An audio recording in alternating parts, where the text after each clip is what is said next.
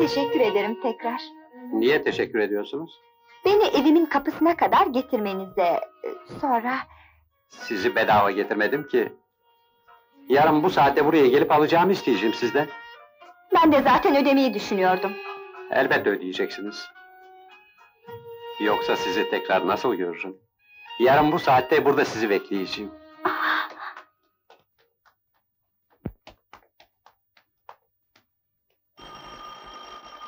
Geldim geldim. Sütçü! Hasan efendi sana öğretemedim zile yavaş bas. Vericim bir yudum süt. Hadi be Sabri Hanım! Adetindir. Her sabah bir saat bekletirsin. Senin de adetindir. Bismillahirrahmanirrahim. Omacı mı gördün yoksa? Umacıdan da beter. Bu ne hal kız? Sabah sabah nereden çıktın? Cennetin miski amber kokan çiçek bahçelerinden. Annem. Annelerin en güzeli. Bir yavru ceylan geldi yanına. Çok uzak yollardan. Ana kucağını özlemiş, ana sıcaklığına hasret kalmış. Titriyor. Üşüyor. Donacak neredeyse. Eskisi gibi koynuna girebilir miyim? Eskisi gibi sıcaklığınla ısınabilir miyim? Ah, Kızım! Affettin mi beni? Sana sormadan okuldan kaçıp yanına geldiğim için beni affettin mi? Affetti tabii. Çünkü ikiniz de yalancı, ikiniz de riyakarsınız. Tabii önce anne olacak bu hanım. Neymiş önce kızar, arkadan bağırır çağırır. Yüzüne gelince de... Ah sen yok musun sen? Bu kızın böyle şımarmasının tek sebebi sensin. Ne yapayım? Hayatımda her şeyimi verdiğim bir tek kızım var. Bir de sen. ne habermiş? Nasılmış? Senin sabahki konuşmalarını duyan da annemi çok kötü bir kadın sanırdı. Hadi hadi şımarma. Sahi sen nasıl geldin İstanbul'a? Galiba hiç paran yoktu.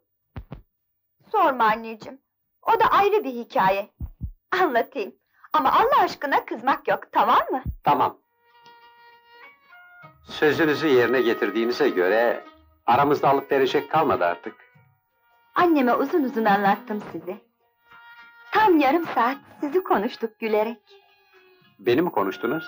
Annem abla gibidir bana. Arkadaş gibidir. Muhakkak yasaklamıştır arkadaşlığımızı. Aksine, temiz çizgiler içinde bir arkadaşım olmasını... ...tabii karşıladı. Peki... ...ya senin gördüğü kadar iyi bir insan değilsem... ...bana güvenin var mı? Benim evvela kendime güvenim var. Öyleyse müsaade et de... ...bu güvenine layık olmaya çalışayım. Anne! Anneciğim! Annem! Hayrola? Neşem bir başka bu akşam.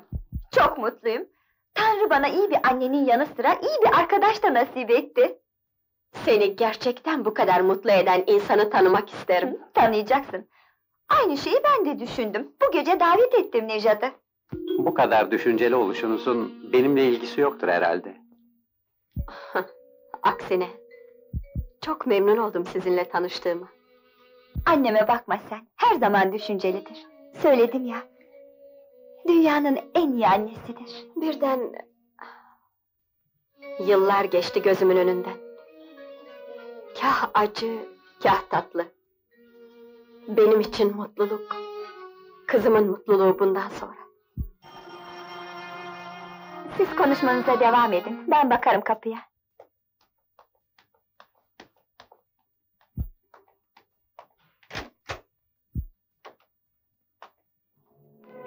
Yanlış gelmedimse Fatma Hanım'ı arıyorum. Annemdir.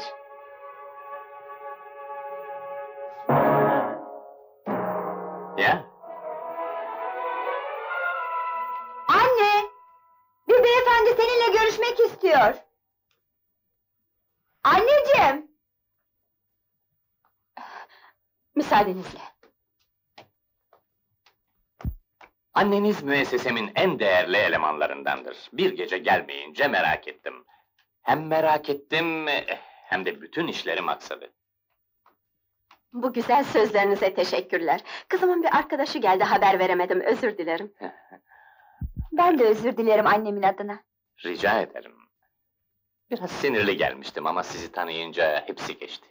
Sen misafirini yalnız bırakma yavrum, ben Cemil Bey'i yolcu ederim. Memnun oldum efendim. Ben de.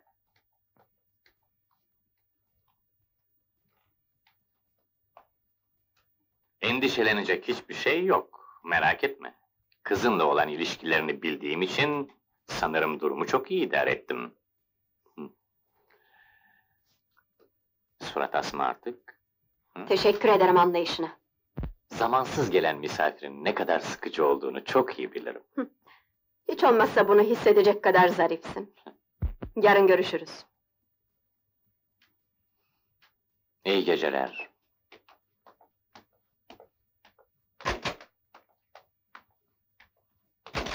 Ne istiyormuş domuz? Yapamıyorum, dayanamıyorum artık. Daha fazla oynayacak halim kalmadı. Senin ne kadar kuvvetli olduğunu bilirim ben. Devam et yavrum. Hayallerini yıkmaya hakkımız yok Beriye Hanım. Anne! Nejat gidiyor! Hadi yavrum. Kuvvetli olmaya mecbursun.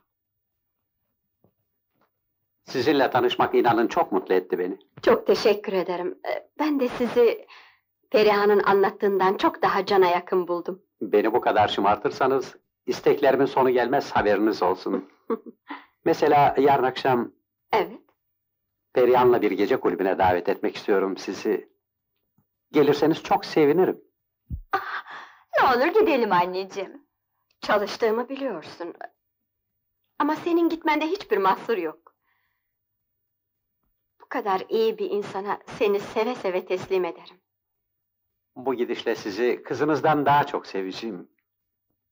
Yıllardır anne sevgisinden uzağımda. Müsaade eder misiniz? Elinizi öpebilir miyim? Tabii. Artık siz de bir oğlum sayılırsınız benim. Teşekkür ederim.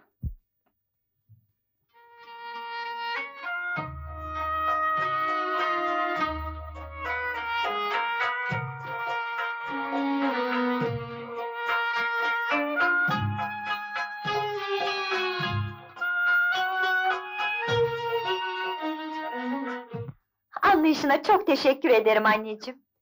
Senin kadar mükemmel bir kadından ancak bu kadar büyük bir olgunluk beklenebilirdi. Sen güzel olan her şeye değersin kızım. Yalnız... Keşke yarın akşam beni kulübe götürmesi için Nejat'a söz vermeseydin. Neden? Sakın şımarıklıkla suçlama. Bir gece kulübünde giyilecek... Doğru dürüst bir elbisen bile yok. Biliyorum yavrum. Her şeyi düşündüm ben. Her şeyi düşündün mü? Tabii.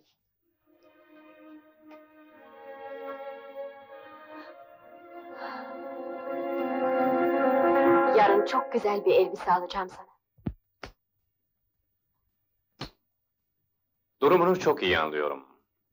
Ayrıca bunu dün gece kızının yanında da belli etmedim. Ben de teşekkür ettim sana davranışın için. Esasen buraya gelişimin sebebi de... Paraya ihtiyacın var biliyorum. Tahmin ettim daha doğrusu. Kızın en güzel çağını yaşıyor. Bir anne olarak onun bütün ihtiyaçlarını karşılamak isteyişin güzel bir duygu. Üstelik de sana çekmiş. Her yaşta erkeğin nefesini kesecek kadar güzel. Tüccarımdır bilirsin. Kızının bir gün çalışması bahis konusu olursa o zaman bana... Anlamadım. Ne dedin sen? Anlamadım. Kızımın çalışması mı? Boğarım seni, öldürürüm. Hemen sinirlenme, şaka yaptım. Yardımın da yerin dibine batsın sen de. Eşek şakası derler böylesine.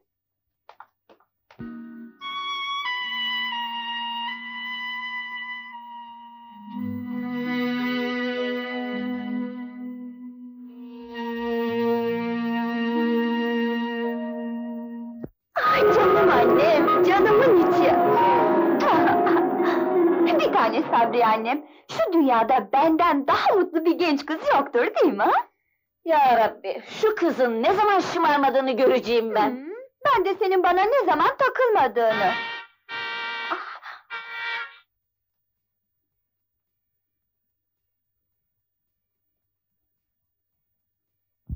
Çeneyi bırak, şehzaden iki dirhem bir çekirdek seni bekliyor. Allah'a ısmarladık. Allah'a ısmarladık. Anneciğim. güle güle kızım.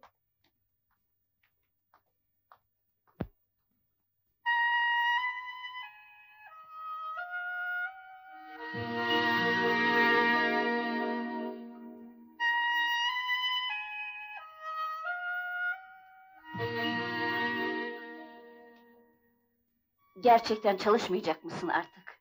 Doğru mu işe gitmeyeceğin? Yıllarca namusumla çalıştım. Bunu anlamayacak kadar basitmiş. Avans da vermedi üstelik. Gördüm. Perihan'a alışveriş yapmak için küpelerinle yüzüğünü satmışsın. Kendimi satmaktan daha iyi değil mi? Kızım benim. Çilekeş kızım. Bu çirkef içinde yıllarca tertemiz kalman mucize.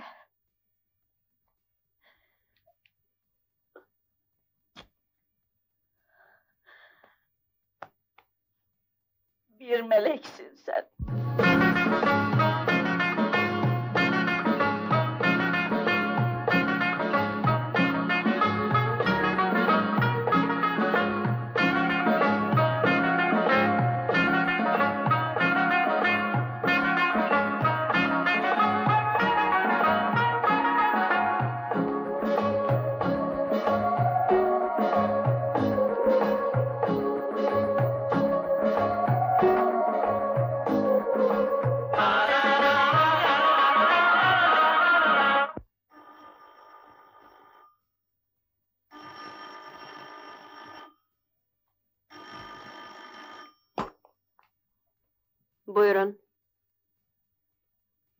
Benim.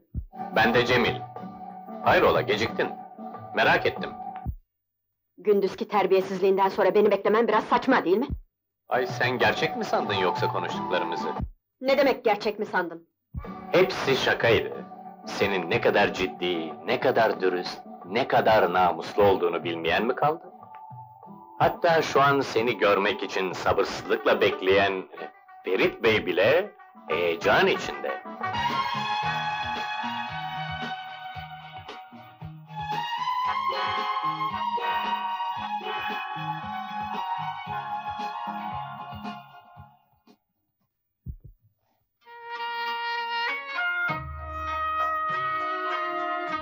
Okula dönmek yok.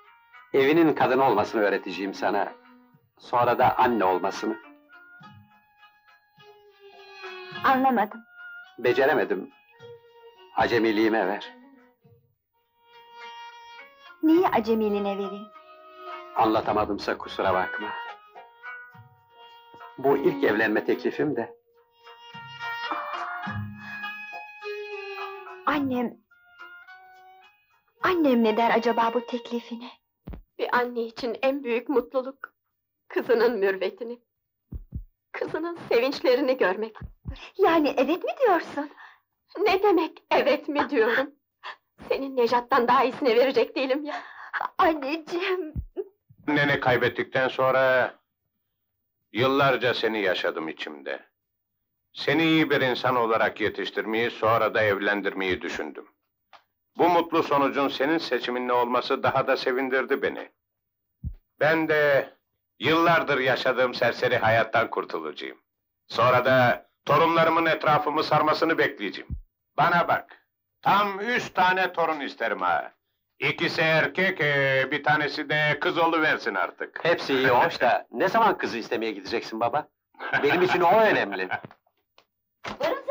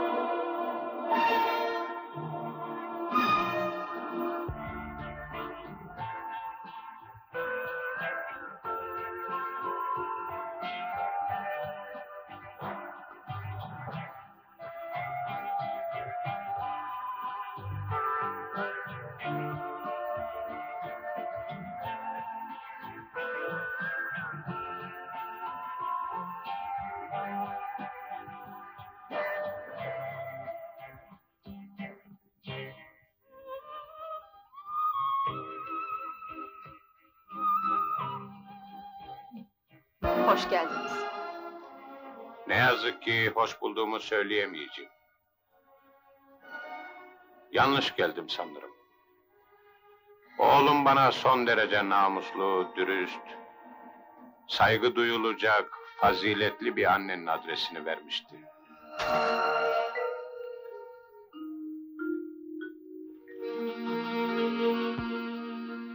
Rahatsız ettim. Müsaadenizle.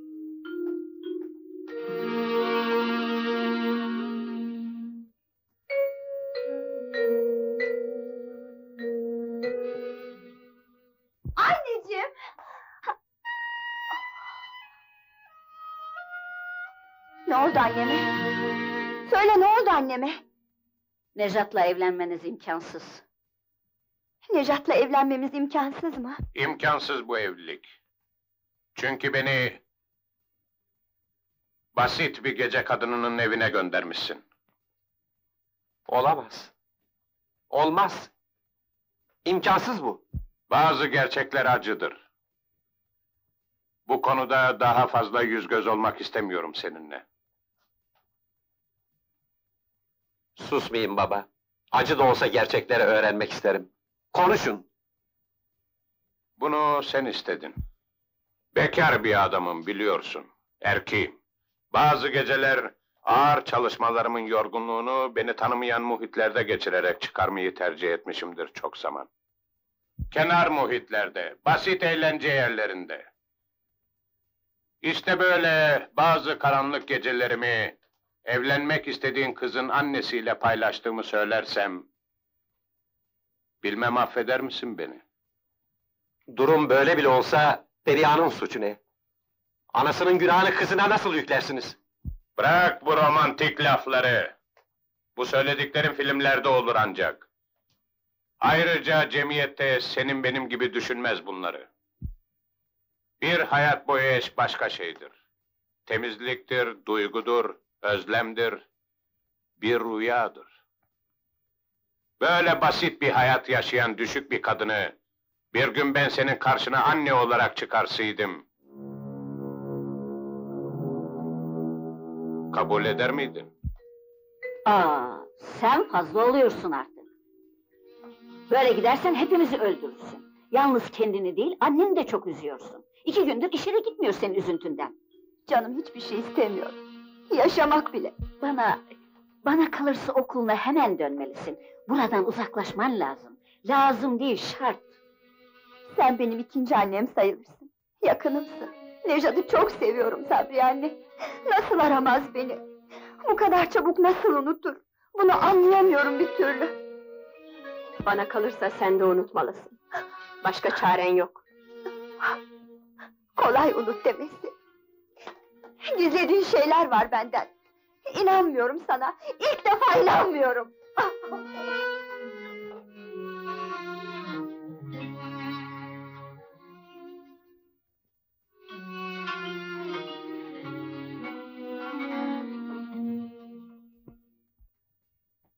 İnanmamakta haklı. Bazı hakikatları senden duymalı. Anlat ona her şeyi. Nasıl anlatırım? Nasıl yıkarım onun pes pembe dünyasını? Nejat'ın babasının masasına gidip içkisini içtiğimi nasıl söylerim? Masasına gidip içkisini mi içtin? Evet. Ama Allah aşkına yanlış düşünme. Bildiğin gibi değil. Mecburdum. Yazıklar olsun. Ben seni kral masası bile olsa gitmez sanırdım. Ne olursa olsun hatalısın. Doğru. Hatalıyım. Üzülme. Bu hatamı hemen tamir edeceğim. Doğrusu ya, hiç beklemiyordum seni. Yine paraya ihtiyacın var herhalde. Hayır. Ferit Bey'in iş adresine. Hı? Hayranlarınla para işlerini direkt halledecek kadar ustalaşmışsın. Tebrik ederim. Bana bak. Beni terbiyesizleştirme. Tatsız ayrılmak niyetinde değilim buradan.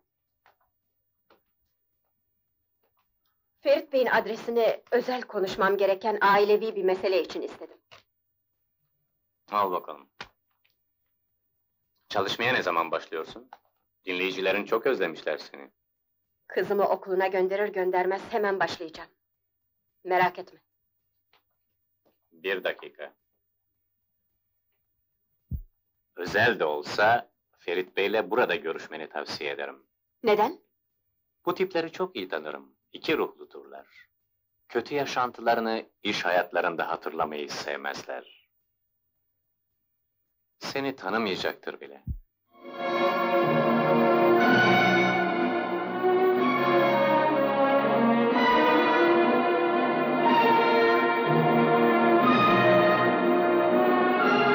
İsimde bir kadın tanımıyorum. Kovun. Çok önemliymiş efendim. Israr ediyor görüşmek için. Görüşemem. İş randevularımın dışında hiç kimseyi kabul etmediğimi hala öğrenemediniz mi? Fakat beyefendi, Savun dedim. Görüşemem. baş üstüne efendim.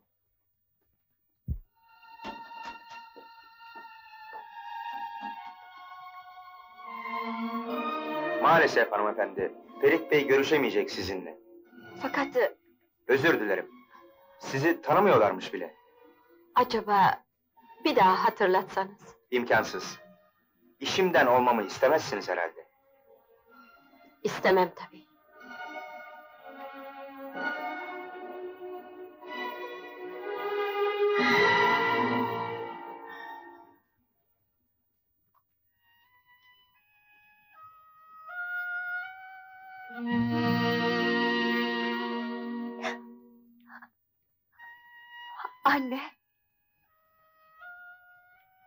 Ağlamak istiyorum.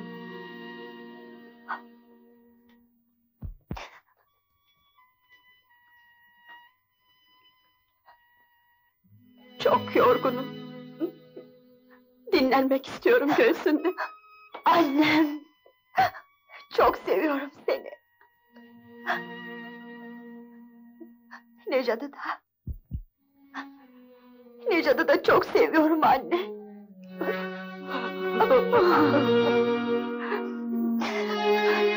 Unutman lazım her şeyi. İstiyorum bunu senden. Yalvarırım okuluna dön. Daha fazla dayanamıyorum acına. Dönecek misin? Dönecek misin dedim.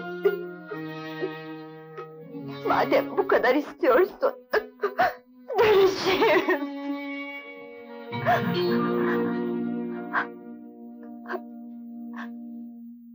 Yarın.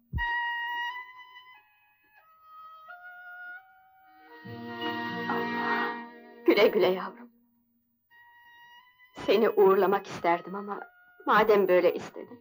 Teşekkür ederim anlayışına. Bütün acılarım burada kalsın. Okuluma tertemiz dönmek istiyorum. Geldiğim gibi. Hemen mektup yaz. Gider gitmez unutma. Olur.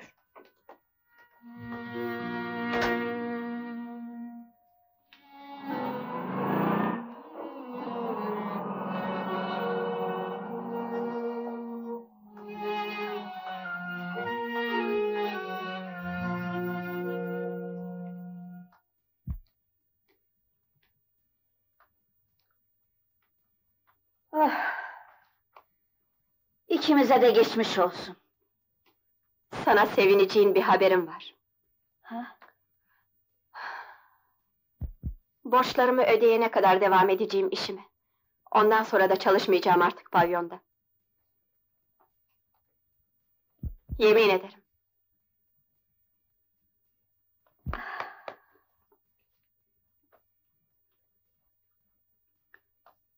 Kızıma söylediğim yalanları gerçekleştirerek mutlu bir dünya kurmaya kararlıyım. Belki de bir fabrikaya girerim sonra. Yo yo, gündeliğe giderim. Hatta hiç çekinmeden hizmetçilik bile yaparım kızım için. Gidiyorum.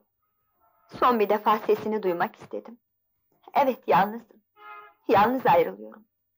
Öyle istedim. Annem de kırmadı beni. Annen şimdi senin İstanbul'dan ayrıldığını mı sanıyor? Demek vedalaşmak istedin benimle. Demek son bir defa görmek istedin beni. Evet Nejat. Çok seviyorum seni. Bizi birbirimizden ayırmaları çılgına döndürmüştü beni. Günlerce ağladım. Ben de. Vakit erken. Yolcu ederim sonra arabamla seni. Şimdi çıkar ceketini.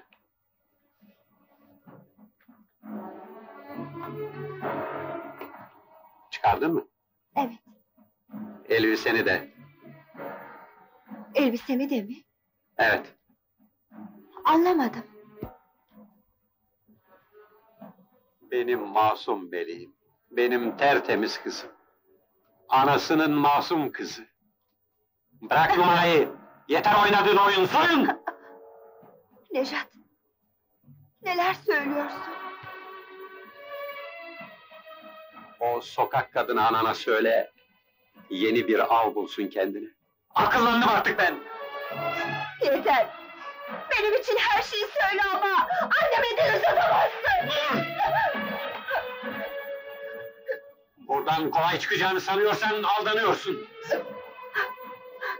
Sana verdiklerimin karşılığını almadan hiçbir yere gidemezsin. Benim olmadan hiçbir yere adımını atamazsın. İğreniyorum senden. Nefret ediyorum. Sen benden değil, her gece sarhoşlara göbek atan anandan nefret et. Yalan. Yalan söylüyorsun. Yalan. Yalan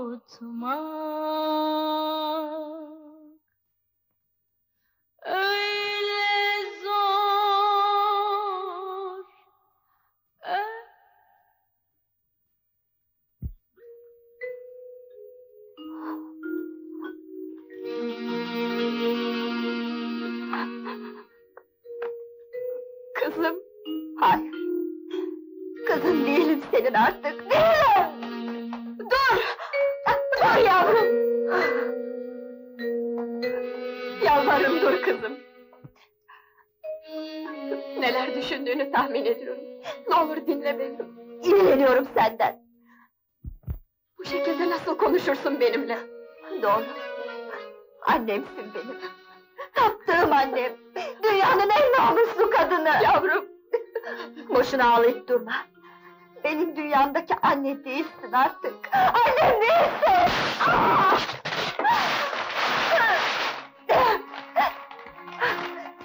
Resimlerine bak. Bu karanlık sokakların kadınısın sen. Yabancısın artık bana. Yabancısın beni.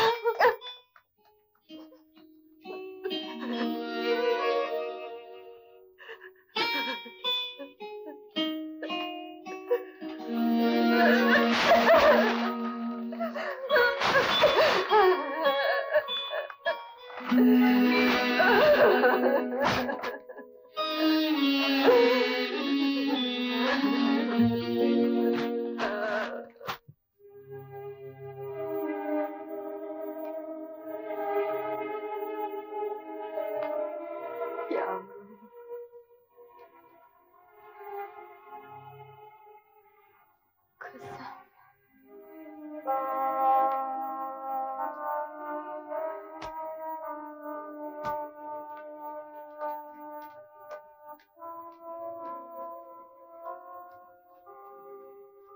Doktor beyi yolcu edeyim, şimdi geliyorum yavrum.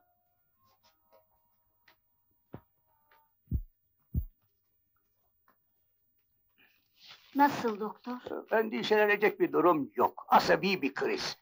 Bu ilaçları hemen yaptırın. Birkaç günde dinlenirse hiçbir şeyciği kalmaz. Saygıdeğer müdür beyefendi. Yazma demesine rağmen annesinin gözyaşlarına dayanamayıp size bu mektubu yazmak zorunda kaldım. Perihan'la annesinin arasında geçen tatsız bir olaydan sonra rahatsızlandı Fatma. Kızının hasretiyle yanan bir annenin acısını anlayarak Perihan'ı bir hafta için acele İstanbul'a göndermenizi rica eder, saygılarımı sunarım efendim. Mektubu dinledin. Annen hastaymış.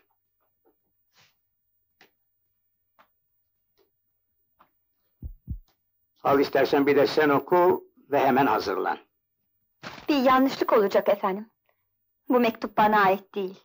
Ne demek bana ait değil? Ben annemi İstanbul'da gömüp geldim okula. Öyle bir kadın tanımıyorum.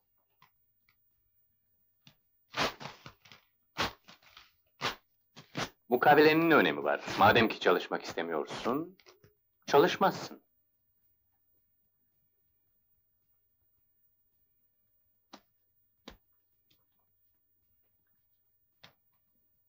Doğru mu söylediklerin? Sandığın kadar hissiz bir adam değil. Seni çok iyi anlıyorum artık. Peki borçlarım ne olacak? Bugüne kadar çok para kazandım sırtından. Bugün zenginsem, bunu senin yıllarca pavyonumda çalışmana borçluyum. Allah'ım sana bin şükür. Ya talih yüzümüze gülüyor artık. Ya da dünyanın sonu geldi. Evet. Adım Orhan. Karıma bakmanız için çok sabırlı olmanız gerek. Güzelliğiniz kadar sabrınız da mükemmelse mesele yok. İki ay içinde gelen beşinci bakıcı oluyorsunuz da. Hanımefendiyi çok sevdim. İyi bir insan.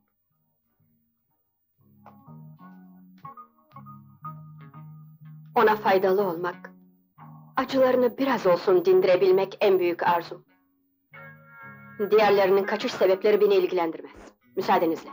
Sen sıradan bir insan değilsin. Bir derinliğin, bulunmaz bir inceliğin var. Teşekkür ederim. Keşke herkes sizin gibi görebilseydi beni. Kör olmak lazım görmemek için. Sizin gibi düşünmesini arzu ettiğim bir tek insan var hayatta. Kim o?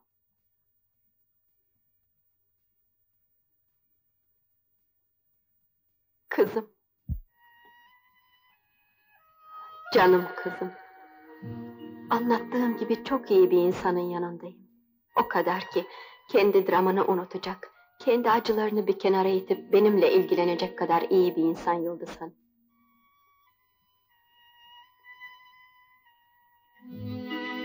Yalvarırım sana Perihan.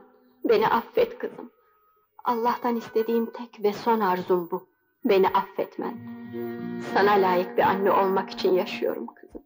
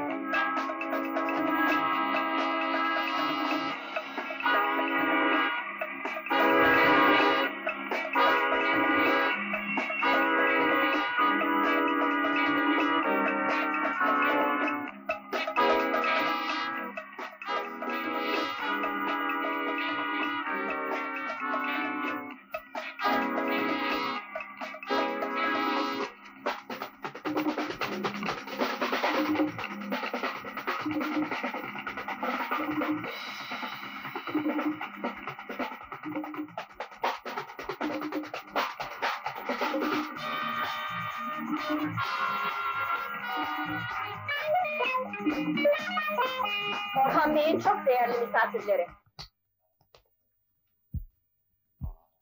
İki saattir devam eden eğlencenizin ne zaman sona ereceğini bilmiyorum. Ne oluyor bu kadına? Ama Orhan Bey sanırım yukarıda bir hastası olduğunu söyleyemeyecek kadar zarif davranıyor size.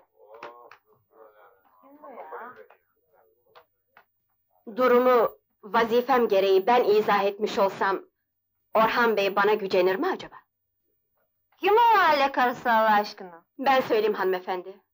Orhan Bey'in hasta eşine bakıyorum.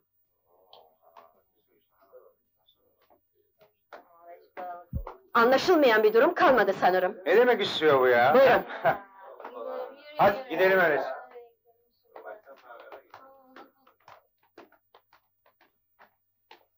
Beni de kovsaydınız bari. Keşke. Keşke yapabilseydim dediğinizi. Yukarıda hastalığın kucağına ittiğiniz karınızın üstüne bu adi kadınlarla ilişki kurmaya utanmıyor musunuz? Doğru. Utanıyorum. Ama karımdan değil. Seni göremeyecek kadar aptal olmamdan utanıyorum.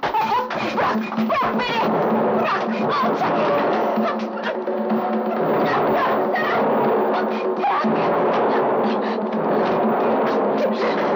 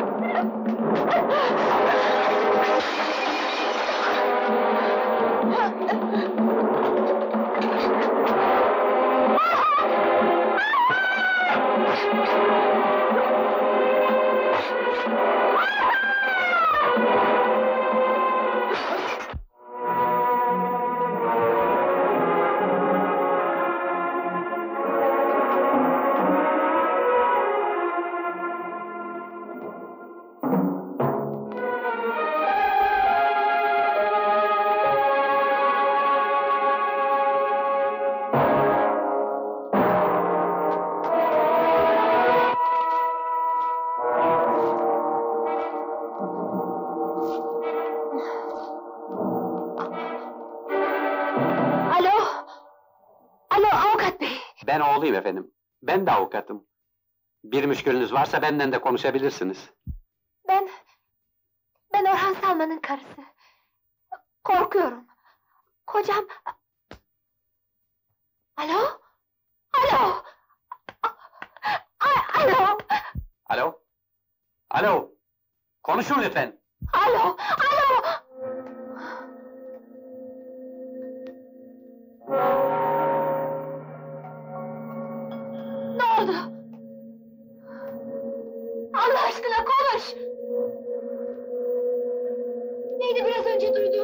Fatma'nın çığlıkları?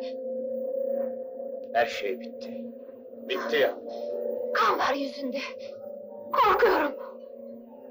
Önemi yok. Önemli olan sensin. Sana çektirdiğim acılar. Ama söz veriyorum... ...hepsi bitecek bu gece. Bitecek. Bitecek!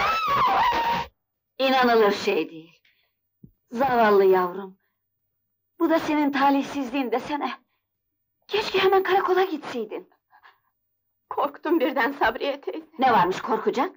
Namusunu korudun sen. Senin yerinde her namuslu kadın aynı şeyi yapardı. Sen biraz dinlen yavrum.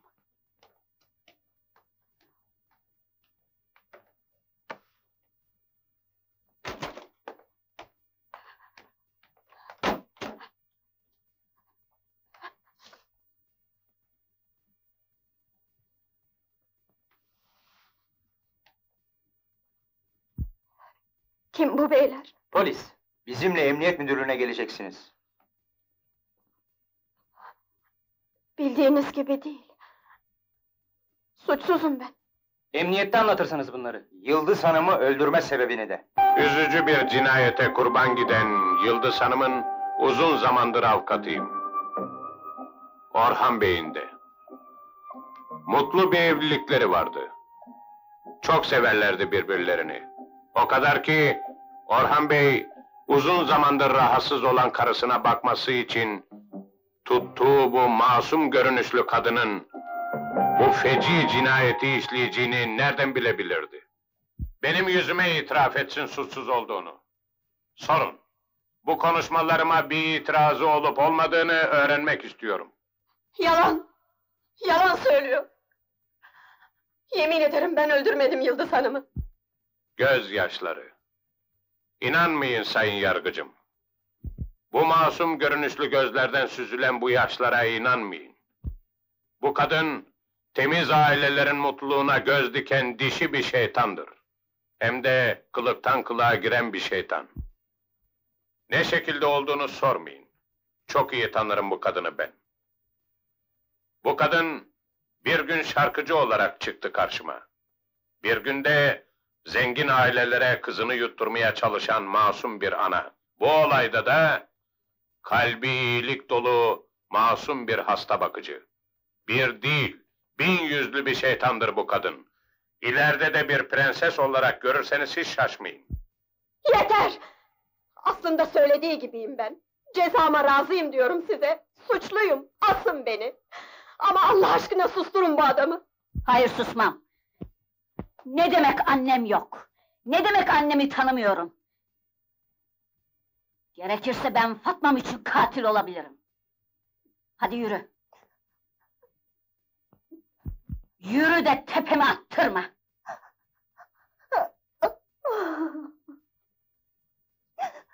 Bana kalırsa hanımefendi haklı. Annenin seni ne şartlarla okuttuğunu, taksitlerini ne şartlarla ödediğini çok iyi biliyorum.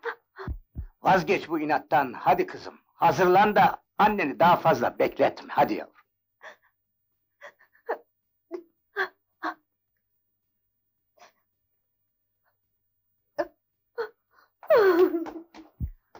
Yavrum, sana döndüm anneciğim. Bana dönmeni değil, beni affetmeni isterdim. Seni affettim anneciğim. Yalan. Seni bana döndüren sevgin değil, merhametin. Yanılıyorsun. İnanıyorum sana. Yemin ederim inanıyorum artık. Senin inanman güzel. Ama geç yavrum.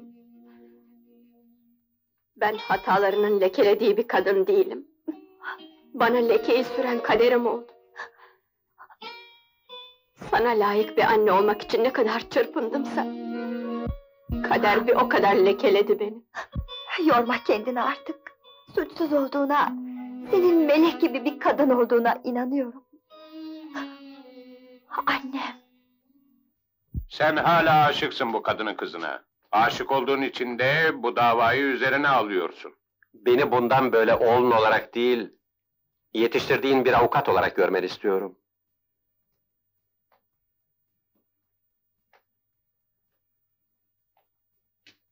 Demek kararlısın bu işe. Beni affet baba. Sana aşkımda bile karşı gelmedim. Ama müsaade ederseniz, mesleğimde karşı geleceğim.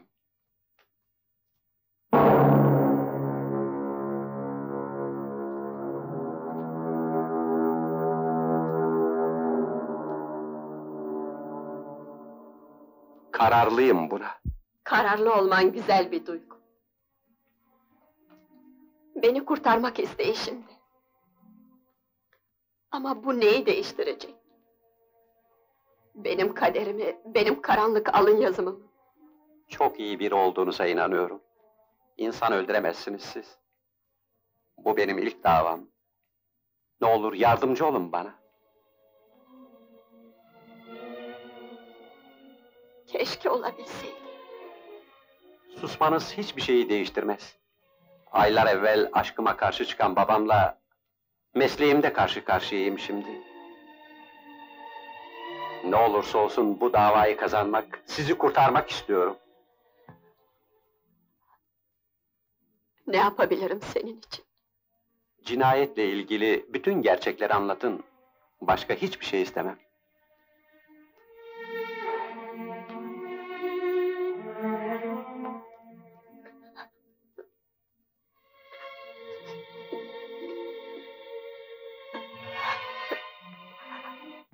Yalan söylemiş size.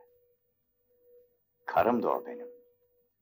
Bana her şeyini bağışlayacak kadar beni seven bir kadındı. Nasıl öldürürüm onu? Ayrıca... ...bir hizmetçinin söylediklerine nasıl inanırsınız? Acınızı anlıyorum. Kolay değil. Zor günler geçirmişsiniz. Müsaade eder misiniz? Karnınızın odasını görebilir miyim?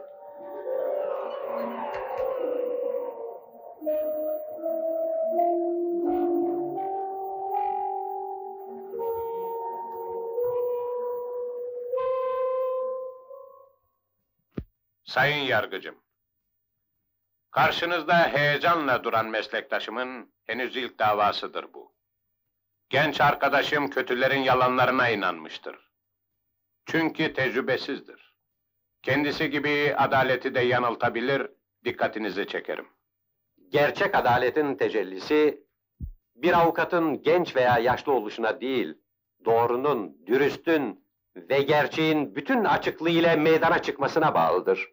Bu sebepten beyefendinin olayları bir baba gözüyle değil, gerçekçi bir kanun adamı gözüyle görmesini isterdim. Dikkatle tetkik ettiğim bu cinayetin doğru detaylarına geçmeden evvel, kötü bir yaşantı içinde dahi olsa, sanığın ne kadar temiz bir dünya içinde kaldığını göstermek istiyorum sizlere. Birkaç şahidim var. Dinlenmesini istiyorum. Fatma Hanım tanıdığım insanların en iyisidir. Bana hayatın gerçek yanını o göstermişti. Kocam doğru söylüyor. Sıcacık yuvamızın mutlu havası, onun altın kalbinin eseri olmuştur.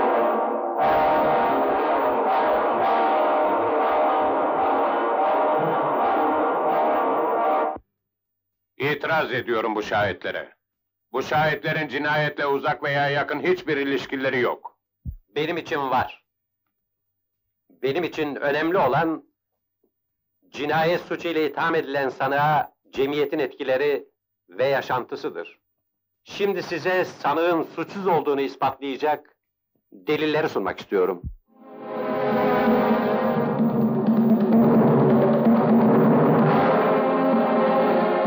Odasında hasta Yıldız Hanım'la oturan sanık, salonda misafirleriyle eğlenen Orhan Bey'in yanına inmiş, misafirleri kovmuştur. Misafirler gidince Fatma Hanım'la yalnız kalan Orhan saldırıya geçmiş. Bu saldırı anında aciz kalan kadın, eline geçirdiği bakır vazoyu sol eliyle kapıp Orhan'ın kafasını hızla vurup kaçmıştır. Orhan Bey'in sağ kaşı üzerindeki bant da bu durumu doğrulamaktadır.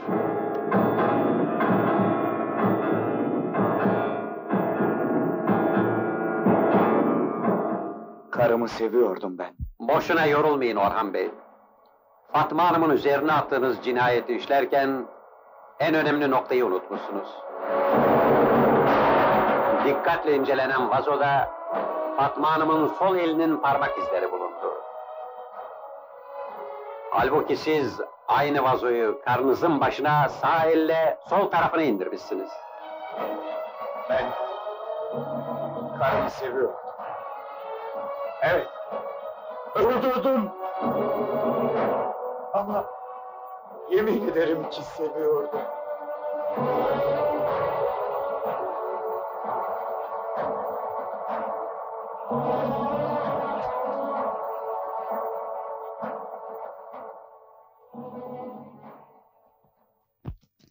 Ne yapacağımı şaşırdım Sabriye teyze. Saçlarım iyi oldu mu? Bu halde mi daha hanım hanımcık? Yoksa açık mı bırakayım saçımı? E şimdi bayanlık ağzımı açacağım artık. Sanki bu eve şimdiye kadar hiç misafir gelmedi. Ah, bugün başka Sabriye teyze. Bugün hayatımın en mutlu günü. Gören de seni istemeye geleceklerini sanacak. Aa, muhakkak Nejat'ın babasıdır. Aman nazik ol Sabriye teyze, aman kibar karşıla. Fatma, sana iki tokat yapıştırırım, nereden geldiğini şaşırırsın. Hadi konuşmayı bırak da aç kapıyı.